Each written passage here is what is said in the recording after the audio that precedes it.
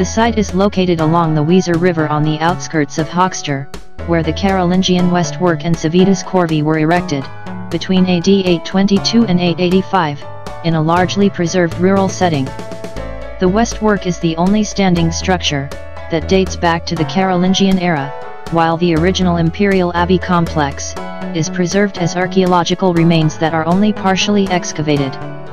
The Westwork of Corvey, uniquely illustrates one of the most important Carolingian architectural expressions.